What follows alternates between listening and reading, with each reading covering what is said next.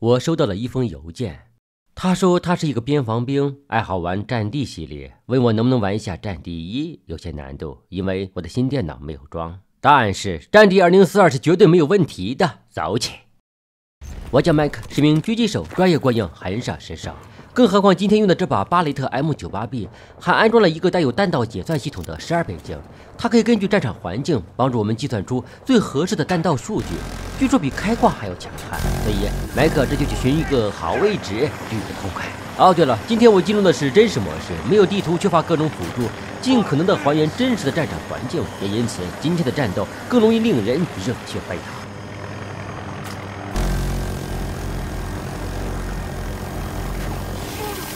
打不到咱们不和他硬拼。其实我的飞行技术还算可以的，坠机的概率低于百分之六十，只要聚精会神就能打。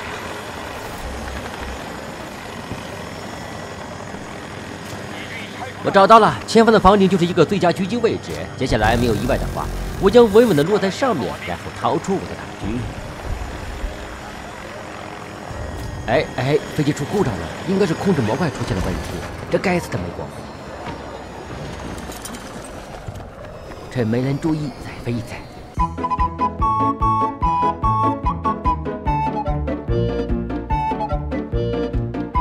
好，凭借优秀的驾驶技术，我成功进入预定位置。先略微的喘口气，让这心平静下来。接下来开始行动。一枪爆头，巴雷特 M98B 口径8.58毫米，威力介于7.62和12.7毫米之间，所以其拥有更远的有效射程，同时精度也更高，更适合远程狙杀。放一个复活新标以备不时之需，毕竟我技术再好也怕外挂。虽然我这把枪堪比外挂。找到一个游荡者，锁定击发，太准了！这把狙确实好用，很能给人信心。又找到一个，有人瞄上我了，不要慌，观察对方弹道，在这里。他们不服呀。接着来，有反光，看到了吧？被我狙过一次后，他明显的不服。大家等着吧，他肯定还会再出来对狙的。在战地中，遍地都是 CCTV 星光璀璨，就看我们如何引导他们的好胜心，从而变成可重复使用的靶子。打不过我用机炮，太欺负人了。嘿嘿，在这里，爆你头！我。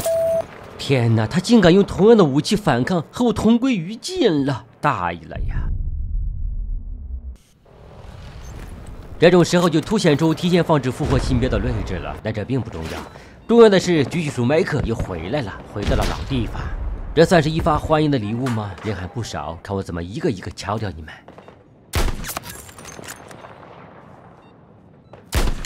这绝对是个老对手了，堪比石城耀良大兄弟。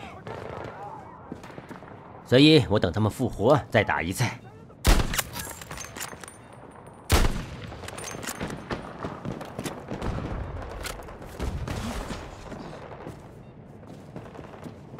发现一束微弱的光芒，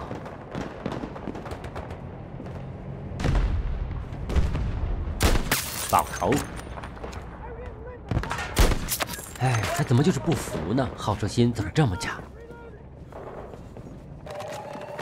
算算时间，又该活过来了吧？我是发现了，这位大兄弟身怀绝技，最擅长用脑袋接子弹，而且心有大毅力，屡战屡败，令人佩服。玩不起呀！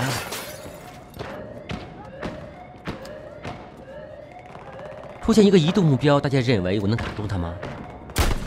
没啥难度。来，咱们继续继续寻找那些擅长接子弹的小老外们。看到人了，哎，一发子弹擦头皮而过，搞定！哎呀，谁这么凶？带着锋芒。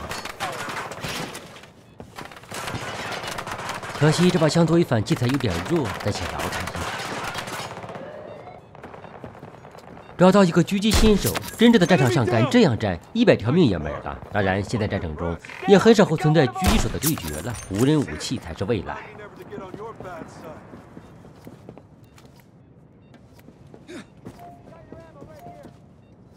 不过怎么这么久了，那个投接子弹的兄弟还没出现？失去信心了，还是掉线了？还别说，怪像他的。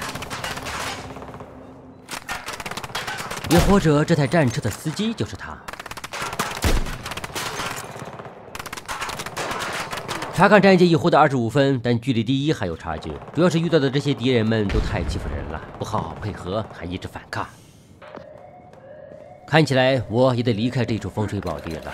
敌人的下一处防线周围并无合适的高地，估计需要抗拒近战。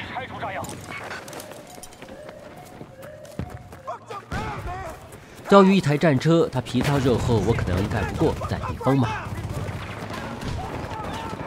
发现目标，但距离太近了，我需要换个倍镜才好。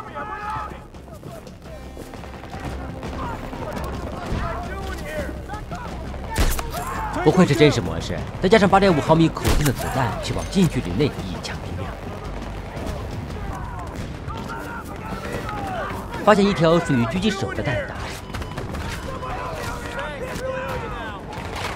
在这里。还有他。